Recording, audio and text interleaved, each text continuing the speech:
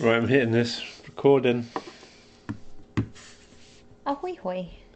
Is that rabbit in the headlights? So we went to Albion Hills today, probably for the last time, Likely our last hurrah. which is owned by the conservation area. No, it's not. The Toronto Conservation Authority. I need to swap stalls.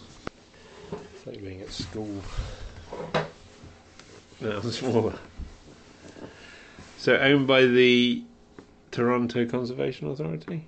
I don't know about the Toronto part. There's so many conservation things. Don't look it up now. Well, I need to let the people know. Otherwise, there's no point oh in wait, doing I a just trail had the guide. thing on my telephone here. Conservation parks. Oh, it is Toronto and Region Conservation Authority. That's where they were stab vests. My Um, apologies. That's okay. So we've been there quite a few times. Um, also looking for mushrooms as well as just riding. Um, having been a few times, what do you think? I was recollecting that I have fond memories of Albion. It's not my favoriteest place, but we found such a sweet spot for picnicking there, away from everyone, and also an excellent cone on the way home. Like it, and it's not too far. It's uh, it's been pretty good to us. However. Um, all of the trails that are there, and there's a lot. Um, there's only probably one or two that are built. I wouldn't say properly because they're properly built, but built with any kind of flow in mind. So even though the height of the hills is high enough and the terrain is good enough to be able to build like long sweeping downs and gentle climbs up, which you know you don't want all the time, but just occasionally, everything is built like sharp right hand turns, rutty, rooty climbs, and you kind of get no break. You don't get any. Flow. No, and if you put your dropper post down, you put it up before you put it down because you've got to get back on the pedals to get back up the next hill. Otherwise, it's like too steep or Actually, you know what I remembered today from some of my first rides there? Um, is how much I'm changing gears. Oh my goodness. yeah. And I think that speaks to what you're saying, perhaps. Yeah, completely. And then you get on that trail that's built by the um, National Mountain Bike Federation or whatever it is, and it's a different day all over. It's like completely different. You climb and then you come down, and it's like, oh, that makes sense.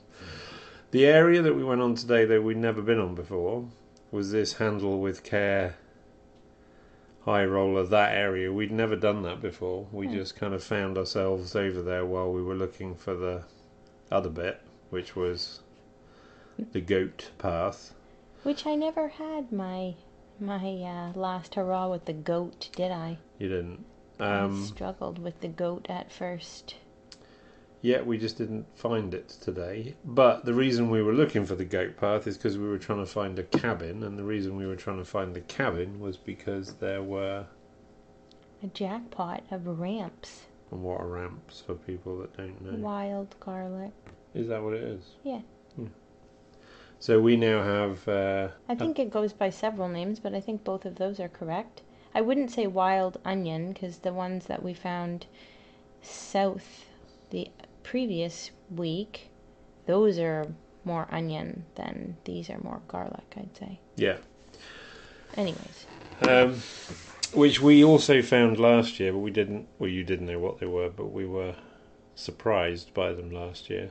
Um, and this year we are ahead of the game. This is our second lot of collecting ramps, so we will need a huge freezer unit sooner or later. But um, we were a bit limited today because it got cold and but it was better than picking them um last year when we were picking them. You could only pick for so long because you couldn't stand the mosquitoes. no. Today we got a bit chilly because it was chilly and then started raining a little bit. No mosquitoes, which is but excellent. no mosquitoes. I'd never see a mosquito again. I'd be happy. I know.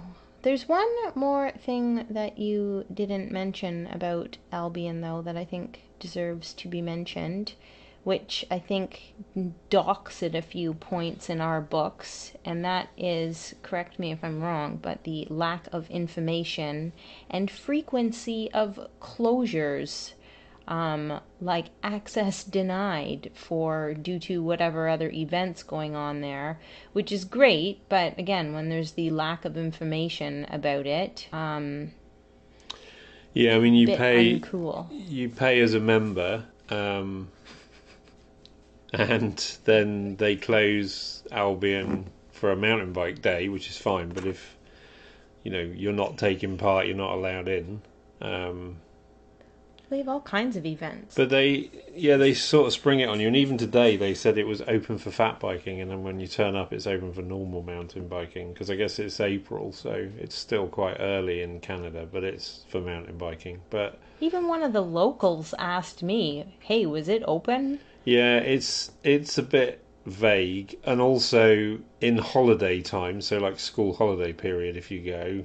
There is a lot of people on. the There's a trails. campground A lot of as people well- as well. walking. A lot of mountain bikers. Um, but today was pleasant. We saw one other rider.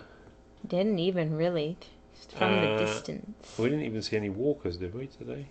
One lady, and I think she was picking up trash. Oh yeah, the lady that was litter picking, and that was it. And then we saw a lot of birds today. We saw, we heard the coolest bird song. We don't know what he was I yet. don't have a clue. Possible turkey vultures as well. Oh, I think for sure that the was odd them. cardinal. Yeah, seen a lot of them this A lot of uh, what do you call them? Chickadees. chickadees. I got to Um, feed the chick- the mother load of chickadees. The red-winged blackbird, nuthatches, a lot of woodpeckers. We heard two owls We- calling across the valley, Definitely. which was cool. Um, so yeah, so no it bunnies or deers today, though. Saw some deer footprints. I Does thought I saw some footprints myself. Yeah, that was it. So that was all I saw. Anyway, anything else to add? I would just say that on the whole, I think Albion is a quite a sweet spot, and maybe that's because it's maybe one of uh, in my first few times I went there. I don't know if I have a bias thing going on here, but I there's something sweet and cozy about Albion, but there's a few drawbacks as well. Yeah, I think it's definitely worth going once if you're passing. Probably not worth coming all the way or over buying a full to year's go. membership. Um, and then on the weather side of things, as in trails being open or closed, it is worth trying to look into Albion because it is one of the places that is open this weekend, even after all the rain. Whereas Durham's closed and you know Hydrocut's closed, Albion seems open and And was pretty dry as a bone. and pretty good condition. So in that quest to find places to ride, it's probably worth considering it if everywhere else is closed. Anyway, that's the end of that. Until next time. Yeah, definitely stop in Bolton at Happy Days for a cone on your way home. Peace out.